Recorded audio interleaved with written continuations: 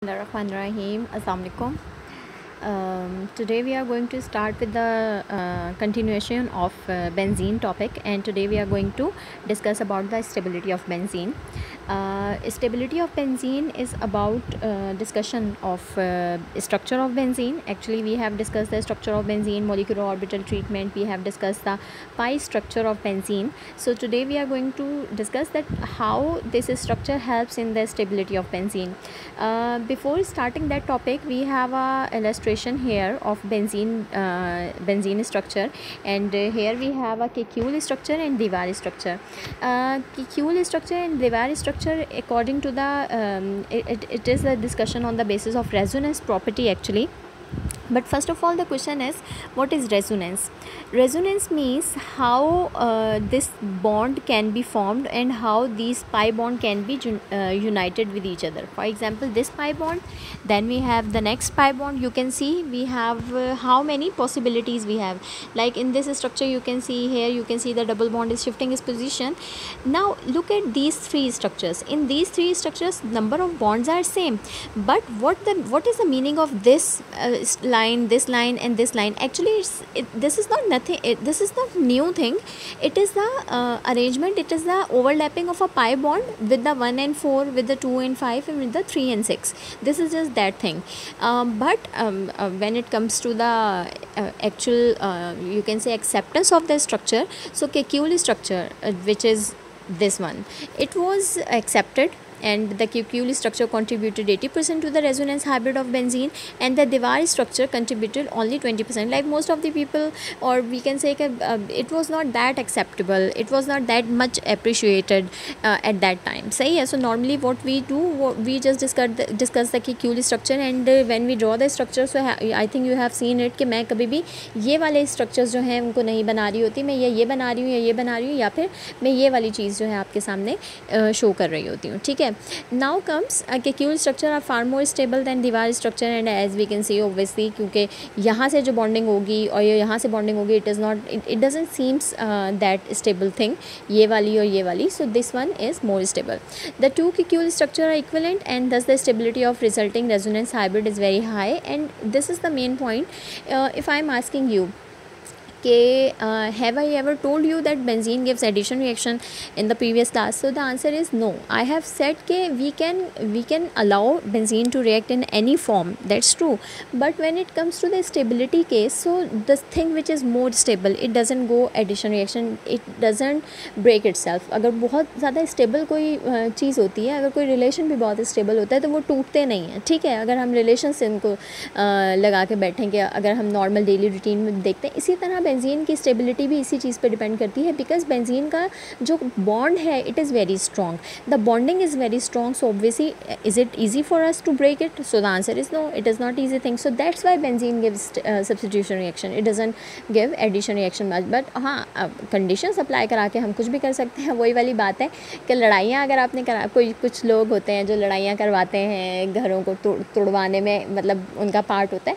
तो वो उनकी एनर्जीज होती हैं, वो अपने कंडीशंस लगा रहे होते हैं, यूँ कर यूँ कर लो I think you are getting what I I want to say so this is what benzene structure को हम जब डिस्कस करेंगे तो इस तरह से हम लोगों ने इसके अंदर ये चीज़ें बतानी है। Okay now comes the benzene resonance explanation of the structure of benzene what is the resonance structure from X ray crystallography ये एक बेटा, एक टेक्निक है जिसके थ्रू हम लोग इसकी स्टेबिलिटी जो है उसको डिस्कस करते हैं। In benzene the actual bond length is one point three nine as it is written ये आपके पास एम सी क्यू का पार्ट है, आ सकता है एम सी क्यूज़ में।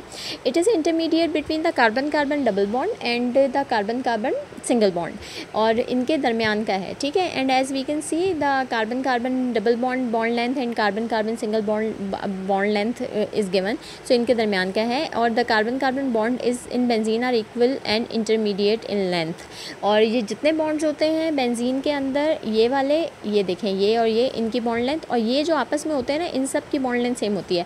जितना यहाँ से यहाँ फासला होगा, उतना ही दूसरे में होगा, उतना ही तीसरे में होगा, उतना ही all the six bonds are equally um, far away from each other now benzene resonance energy as I said के रेजोनेंस क्या है? The shift the possibility of the bonding जो हम लोग देखते हैं कि बॉन्डिंग आपके पास कैसे कैसे हो सकती है, उसके बात है। लेकिन यहाँ कुछ स्लाइड को देख लेते हैं कि what is written here one way to estimate the resonance energy of benzene is to compare the heat of hydrogenation of benzene and cyclohexene इसका मतलब क्या है? We are going to convert this benzene and we know benzene का structure हमारे पास ये होता है। This benzene we are going to convert in into cyclohexane सही है जी। जी साइक्लोहेक्सेन में हमने इसको कन्वर्ट करना है। ये सॉरी ये गलती से लग गया है, ये वाला, ये है नहीं साइक्लोहेक्सेन है। अब हम साइक्लोहेक्सेन में दो चीज़ों को कन्वर्ट करके देखेंगे। एक हम बेंजीन को करके देखेंगे कन्वर्जन और एक हम सिंपल आपके पास डबल बॉन्ड का जो सिक्स मेंबर ड्रिंग होगा, जिसको हम वन थ्री साइक्लोहेक्सा ट्राइन कहते हैं, हम उसको करके देखेंगे। और हमें बहुत अच्छे से पता है, हमें ये बात पता है कि अगर हमें इनको कन्वर्ट करना है तो वी नो वेरी वेल कि सी सिक्स एस सिक्स आपका फार्मूला होता है। Sorry C six H six formula होता है बेंजीन का। Let me write it again एक मिनट स्टेबिलिटी ऑफ़ बेंजीन यहाँ पर मैं लिख देती हूँ। जी सी सिक्स एस सिक्स होता है बेंजीन का फार्मूला और अगर हमें इसे सिक्स में कन्वर्ट करना है तो उसका फार्मूला हो जाएगा C six S twelve so what thing we are going to add it is the hydrogen actually so what we are going to do we are going to going for the hydrogenation process hydrogenation addition of hydrogen so this is what we are going to do heats of hydrogenation for both cyclohexane and benzene are negative what does it mean कि अगर आपने bond formation करनी है obviously bond formation नहीं है ना addition हो रही है. एडिशन किस चीज़ की हो रही है जनाब? एडिशन हो रही है हाइड्रोजन की विद द कार्बन सो हमें क्या हो रहा है? बॉन्ड बन रहा है। बॉन्ड बॉन्ड किस चीज़ के साथ बन रहा है? कार्बन के साथ बन रहा है हाइड्रोजन्स का। तो एडिशन रिएक्शन हो रहा है यहाँ पर। एडिशन हो रही है तो एडिशन नॉर्मली एक्जोथर्मिक रिएक्शन ही होते हैं। तो ये वही वाली बात करें कि हीट इज़ लिबरेटेड ये आप लोग फ़र्स्ट ईयर में पढ़ के आए हैं एक्जोथर्मिक एंडोथर्मिक वाला concept now come to stability of benzene का कॉन्सेप्ट है। ये देखिए, यहाँ आपके सामने तीन तरह के स्ट्रक्चर्स लिखे हुए हैं। सबसे पहला देखिए cyclohexene is converting into cyclohexene I am discussing this one ठीक है? And you can see the value minus twenty eight point six kilo joule जो हैं, वो रिलीज़ होंगे आपके पास और इतना होगा। और अगर मैं डबल बॉन्ड लगा दूँ यहाँ पर कोई, और एक और डबल बॉन्ड लगा दूँ तो obviously this value is going to be get double obviously so ये अप्रॉक्सीमेटली थ्री हेक्साइक्लो हेक्साडाइन की वैल्यू इतनी हो जाती है दिस इज़ ऑब्ज़र्व और अच्छा और होना क्या चाहिए? When it comes to triple bond case तो ये वैल्यू ट्रिप होनी चाहिए आपके पास और सही है, इसके अंदर एडिशन जो जो इसके अंदर जितनी इधर अमाउंट है, उसी को मल्टीप्लाई बाय थ्री कर दें तो आपके पास आंसर आना चाहिए।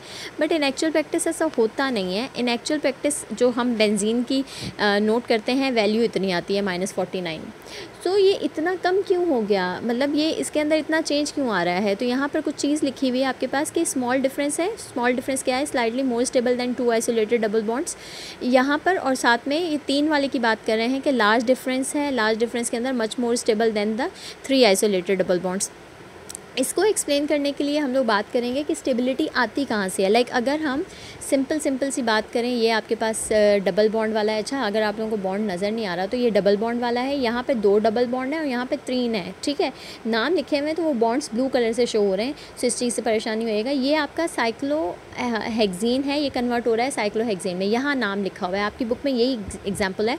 तो इधर नीचे यहाँ पर ये बनाया हुआ है साइक्लो हेक्जेन और यहाँ पर देखिए ये वैल्यू आ रही है। ठीक है हम लोगों ने हाई, सिंपल हाइड्रोजनेशन कराई तो हमारे पास इतनी वैल्यू आनी चाहिए थी। कितनी वैल्यू आनी चाहिए थी? वन नाइनटीन और अगर हम डबल बॉन्ड वाले को कन्वर्ट करते हैं तो इतनी वैल्यू आनी चाहिए। और अगर हम ट्रिपल बॉन्ड वाले को कन्वर्ट करते हैं तो माइनस थ्री फाइव एट आती है। ये एक आपके पास सिंपल जो डबल बॉन्ड वाले हैं या एक थ्योरेटिकल वैल्यूज़ हैं वो हैं। लेकिन बेंजीन अच्छा बेंजीन का आयूपैक नेम भी तो यही होता है वन थ्री फाइव साइक्लो अगर हम लिखना चाहें तो। होता क्या है इन एक्चुअल प्रैक्टिस में? इन एक्चुअल प्रैक्टिस देखिए, यहाँ पर ये बेंजीन रिंग है और इसको कन्वर्जन के लिए कितनी वैल्यू कन्वर्ट असल में हमारी सपोजिशन या हमारी साइक्लो हेक्साट्राइन के बारे में बात करेंगे तो 358 किलो जूल्स की वैल्यू चाहिए और बेंजीन के केस में इतनी एक्चुअल में इतनी वैल्यू रिक्वायर हो रही होती है बेंजीन के लिए। तो ये क्यों है? ऐसा क्यों है? क्योंकि बेंजीन का जो पाई सिस्टम है, जो साइक्लो हेक्साट्राइन है, ये बॉन्ड तो बेटा फिक्सड होंगे दे आर नॉट मूविंग इनकी पोजीशन फिक्स है they are not you know they they don't have a pi structure pi pi structure as the benzene is having और इनके अंदर ये सारा केस नहीं है जो एक uh, आपके कॉन्जुगेशन की प्रॉपर्टी हो रही है या एक कंटिन्यूसली मूवमेंट की प्रॉपर्टी हो रही है किस केस में? इस केस में साइक्लोहेक्साट्राइन के। बस इस केस में तो है।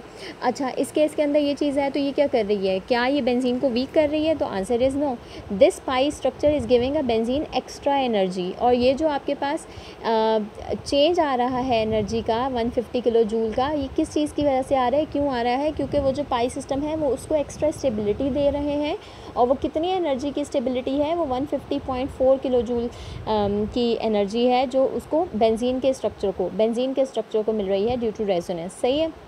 अच्छा यहाँ पर मैं थोड़ा सा आपको एक भी एक्सप्लेन कर दूँ कि ये expected enthalpy change of hydrogenation है। Don't get confuse with these value कि this is the expected and this is the actual और एक्चुअल प्रैक्टिस में, क्योंकि हम लोग एक्चुअल प्रैक्टिस में रेजोनेंस एनर्जी की बात नहीं करते in case of benzene also लेकिन असल में क्या होता है? असल में तो पाई सिस्टम मौजूद है। पाई सिस्टम के अंदर वहाँ रेजोनेंस एनर्जी भी मौजूद है जो क्या कर रही है? बेंजीन को एक्स्ट्रा स्टेबिलिटी दे रही है। और यहाँ पर अगर आप देखें तो यहाँ लिखा हुआ है actual enthalpy change of hydrogenation of benzene और और ये आपका साइक्लोहेक्सेन में कन्वर्जन हो रही है, ठीक है?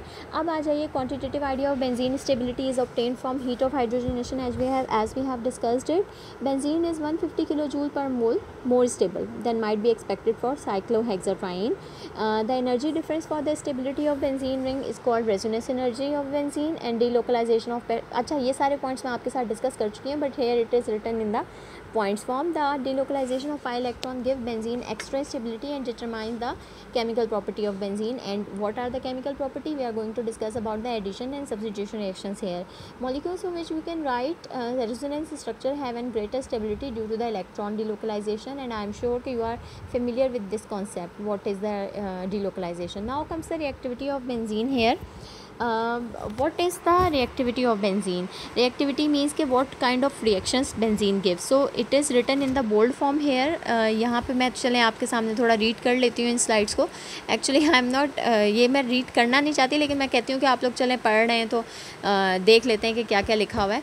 वैसे मैं आपको बता दूँ हम लोग ने आगे सब्सिट्यूशन रिएक्शन जो हैं वो बेंजीन के वो आगे पढ़ने पहले हम एडिशन रिएक्शन देखेंगे. चलें देखते हैं ये क्या लिखा हुआ है. The image shows the electrostatic potential for benzene the more red an area is the higher higher density uh, higher density of uh, higher and uh, the electron density and the more blue an area is the lower the electron density यहाँ पर आपके पास lower electron density है electron density वही आपके जो electrons हैं the note the nucleophilic character of the aromatic piece pi system nucleophilic character free electrons को कहेंगे। न्यूक्लियोफिलिक मतलब इलेक्ट्रॉन जिनके पास रिच होंगे, जो इलेक्ट्रॉन रिच स्पेशी होगी। तो यहाँ नहीं आपके आपके पास यहाँ पर कौन मौजूद है? पाई बॉन्ड्स हैं ना? पाई बॉन्ड के अंदर इलेक्ट्रॉन हैं तो वो फ्री इलेक्ट्रॉन्स हैं। तो फ्री इलेक्ट्रॉन्स का मतलब नेगेटिव करेक्टर यहाँ पर ज़्यादा चल रहा है।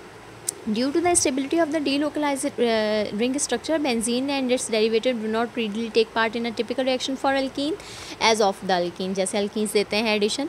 For example, under normal condition, they do not decolorize bromine water, react with strong acids or react with other halogens.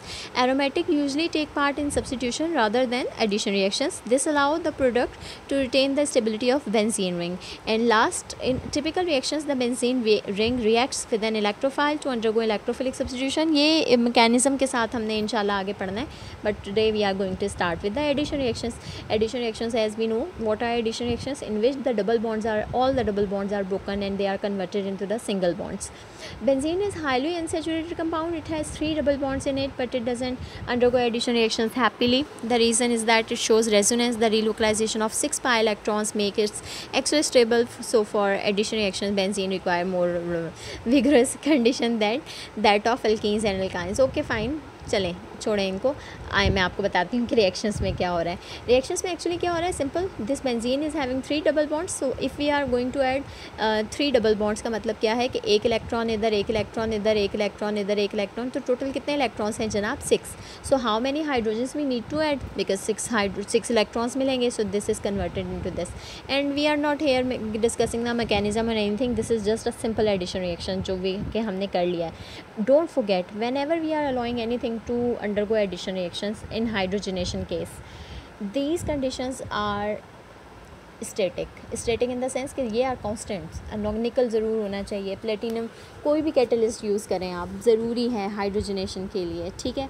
Now this is the with the perfect any example जो आप लोग करना चाहेंगे ये आपके सामने साइक्लोहेक्सेन का स्ट्रक्चर है and this is the molecular formula of cyclohexane next is simple benzene is undergoing with the halogenation halogenation कराएँगे तो जनाब डोंट फोगेट सिक्स ही क्लोरीन ऐड कराने पड़ेंगे एंड हर जगह बिकॉज़ हमारे पास सी सिक्स होते हैं C six benzene hexa chloride benzene hexa chloride means कि यहाँ पे आपके पास बेंजीन के कार्बन कितने हैं? सिक्स हैं.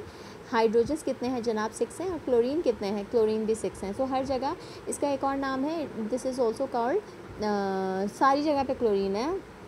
तो आप हर जगह क्लोरीन भी बता सकते हैं. Hexa chloro cyclohexane let me write it hexa chloro cyclohexane ठीक है? सो ये आपके पास लग गए it is sold under the name of gammexane and और लिंडेन अच्छा ये कॉमन नेम है इनके.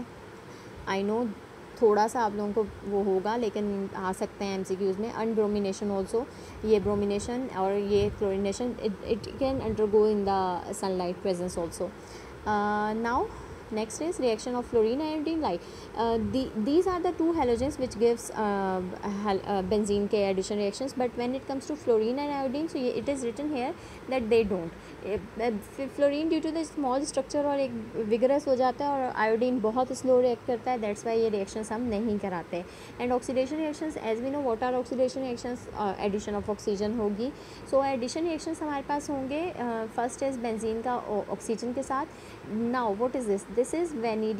oxide V two O five vanadium pentoxide this is the temperature we need an C four H ten O three this is the equation carbon dioxide और water इसकी आपने equation की practice करनी है और कोई हल नहीं है हमारे पास।